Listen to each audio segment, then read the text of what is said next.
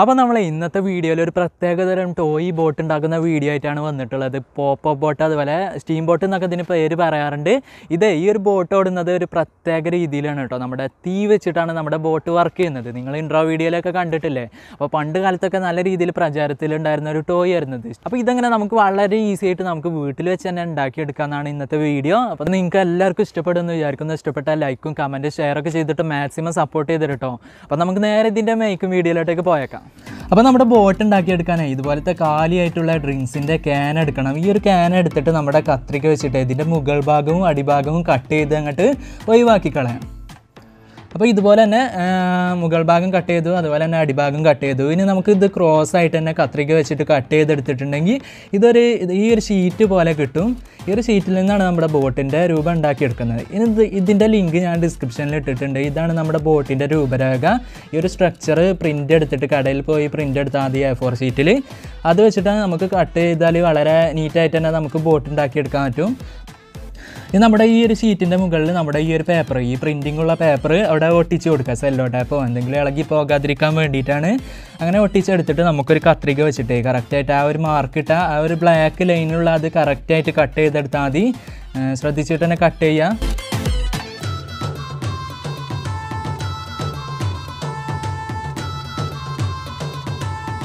Okay അപ്പോൾ നമ്മൾ ഇതുപോലെ കറക്റ്റായിട്ട് ബ്ലാക്ക് ലൈനുള്ള അതിലൂടെ കട്ട് ചെയ്തെടുത്തിട്ടുണ്ട്. ഇനി നമ്മുടെ പേപ്പർ ഒഴിവാക്കിയിട്ടുണ്ടെങ്കിൽ നമുക്ക് അപ്പോൾ ആദ്യത്തെ ഇത് കട്ട് ചെയ്തെടുത്തിട്ടുണ്ട്. ഇനി നമുക്ക് അടുത്ത ബോട്ടിന്റെ സൈഡ് ഭാഗം കൊടുക്കാൻ വേണ്ടിയിട്ട് കുറച്ച് നീളം വേണം. അപ്പോൾ രണ്ട് ഷീറ്റ് ഒരുമിച്ച് ഒട്ടിച്ചെടുക്കുകയാണ് ചെയ്യുന്നത്. ഗം വെച്ചിട്ട് നമ്മുടെ ഫ്ലക്സ് ക്യൂക്ക് ഗം വെച്ചിട്ട് തന്നെ ഒട്ടിച്ചാൽ അവിടെ സെറ്റായി നിന്നോളും.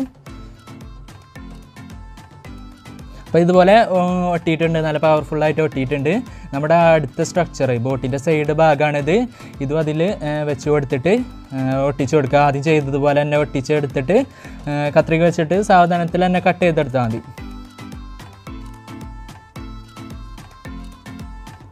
നമ്മൾ രണ്ടാമത്തേതും കട്ട് ചെയ്തെടുത്തിട്ടുണ്ട്. അങ്ങനെ നമ്മുടെ ബോട്ടിന്റെ ഒരു സൈഡ് ആയിട്ടുണ്ട്. അതുപോലെ തന്നെ രണ്ടാമത്തേയും സൈഡ് ഒക്കെ നമ്മുടെ അതിൽ പ്രിന്റിങ് ഉണ്ടാവും. അതിനനുസരിച്ച് നിങ്ങൾ കട്ട് ചെയ്തെടുത്താൽ മതി.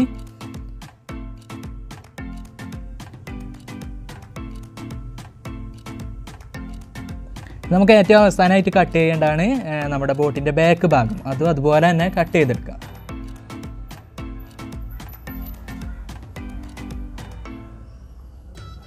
ഓക്കെ അപ്പോൾ നമ്മുടെ കട്ടിംഗ് ഒക്കെ കഴിഞ്ഞു. ഇനി നമുക്ക് ഇതൊക്കെ കൂട്ടി യോജിപ്പിച്ചിട്ട് ഒരു ബോട്ടിന്റെ മോഡലാക്കി എടുക്കണം. അപ്പോൾ ഇതുപോലെ ബോട്ടിന്റെ ആദ്യം നമുക്ക് സൈഡ് സെറ്റ് ചെയ്ത് കൊടുക്കാം. അപ്പോൾ ഇതുപോലെ സൈഡിൽ സെറ്റ് ചെയ്തിട്ട് നമ്മുടെ ഫ്ലക്സ് ക്യൂക്ക് ഗമ്മ് വെച്ചിട്ട് തന്നെ അത് ഒട്ടിച്ച് ഒട്ടിച്ച് കൊടുത്താൽ മതി.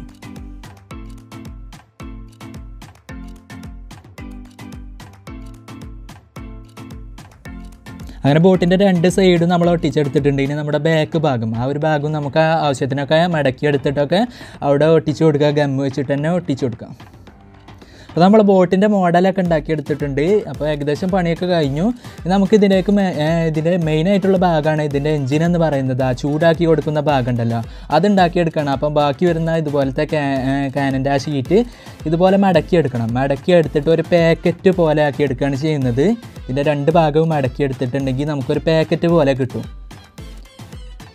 ആ ഇതുപോലെ തന്നെ ഈ ഒരു ഭാഗം ഓപ്പൺ ആയിരിക്കും. അപ്പോൾ ഇങ്ങനെയാണ് നമുക്ക് ചെയ്തെടുക്കേണ്ടത്. ഇനി നമുക്ക് വേണ്ടത് ഇതുപോലത്തെ ഫ്രൂട്ടിയുടെ അതുപോലത്തെ വണ്ണം കുറഞ്ഞിട്ടുള്ള സ്ട്രോ വേണം. രണ്ടെണ്ണം വേണം. അപ്പോൾ ഈ ഒരു രണ്ട് സ്ട്രോ നമുക്ക് ഈ ഒരു ഇതിലൂടെ ഹോളിലൂടെ ഈ പാക്കറ്റിലേക്ക് കയറ്റി വെച്ച് കൊടുക്കാം. നമുക്ക് വേണ്ടത് എറാൾഡേറ്റ് ഗമ്മാണ് വേണ്ടത്. ഇത് രണ്ടും ഈക്വൽ അളവിൽ എടുത്തിട്ട് നല്ലോണം മിക്സ് ചെയ്തെടുക്കുക.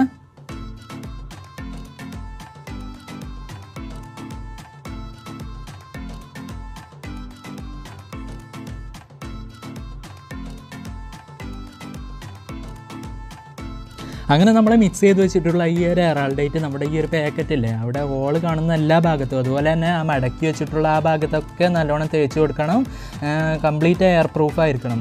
കറക്റ്റായിട്ട് തേച്ച് കൊടുത്തിട്ടില്ലെങ്കിൽ നമ്മുടെ ബോട്ട് വർക്കാവില്ല അപ്പോൾ ഇതൊക്കെ ഉണങ്ങി സെറ്റ് ആയിട്ടുണ്ട്. ഇപ്പോൾ അഞ്ച് മിനിറ്റ് കൊണ്ട് തന്നെ സെറ്റ് ആവുന്ന എറാൾഡേറ്റ് ആണ്. ഇനി നമുക്ക് ഈ ഒരു സാധനം ഇവിടെ സെറ്റ് ചെയ്ത് കൊടുക്കാം ആ എഞ്ചിൻ ബാഗ് അവിടെ സെറ്റ് ചെയ്ത് കൊടുക്കാൻ വേണ്ടിയിട്ട് ഇവിടെ രണ്ട് ഹോൾ ഉണ്ടാക്കിയെടുക്കാം. ദാ അതിലേക്ക് നമ്മുടെ സ്ട്രോ കറക്റ്റായിട്ട് തന്നെ ഇറക്കി വെച്ച് കൊടുക്കുക. അപ്പോൾ ഇതുപോലെ ഇറക്കി വെച്ച് കൊടുത്തിട്ടുണ്ട്. ഇനി നമുക്ക് ആ ഓളെ അടിച്ചു കൊടുക്കാൻ വേണ്ടിയിട്ട് അവിടെ സെറ്റായി നിൽക്കാൻ വേണ്ടിയിട്ട് ബാക്കി വരുന്ന എറാൾഡേറ്റ് തന്നെ അവിടെ തേച്ച് കൊടുത്ത് തേച്ച് കൊടുത്തിട്ട് അടിച്ചു കൊടുക്കാം.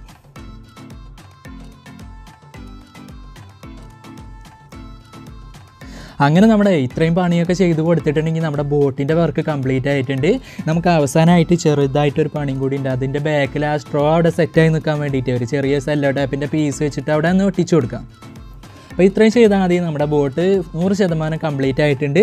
നമുക്കിതൊന്ന് ടെസ്റ്റ് ചെയ്ത് നോക്കാം. അപ്പോൾ ഇത് നമ്മുടെ പാത്രത്തിലേക്ക് ഇറക്കി വെച്ചിട്ട് അപ്പോൾ മെഴുകുതിരി ചെറിയൊരു മെഴുകുതിരി നമ്മുടെ കുപ്പിയുടെ മൂടിയിലാക്കി എടുത്തിട്ടുണ്ട്. അത് നമ്മുടെ കറക്റ്റ് ഈ ഒരു ഭാഗത്തായിട്ട് വെച്ച് കൊടുത്തിട്ട് കത്തിച്ചു കൊടുത്താൽ മതി നമ്മുടെ ബോട്ട് വർക്കാവുന്നതാണ്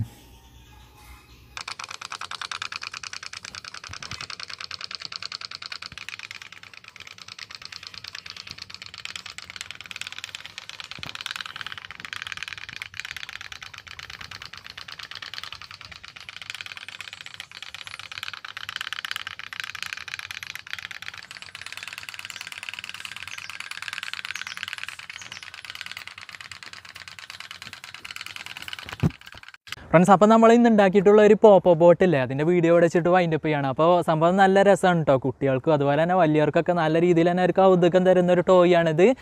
നല്ല സൗണ്ടൊക്കെയാണ് ഇതിങ്ങനെ പോകുന്ന മൂവ് ആവുന്ന സമയത്ത് നിങ്ങൾ വീഡിയോയിൽ കണ്ടില്ലേ? അപ്പോൾ എന്തായാലും പറ്റുന്നവരൊക്കെ ചെയ്ത് നോക്കുക നല്ല രസമായിരിക്കും ചെയ്താൽ അപ്പോൾ വീഡിയോ ഇഷ്ടപ്പെട്ടെങ്കിൽ ലൈക്ക് ചെയ്യുക. അതുപോലെ തന്നെ അഭിപ്രായങ്ങളൊക്കെ കമന്റ് ആയിട്ട് അറിയിക്കുക. അപ്പോൾ നമുക്ക് പുതിയ പുതിയ വീഡിയോസൊക്കെ ആയിട്ട് വീണ്ടും കാണാം.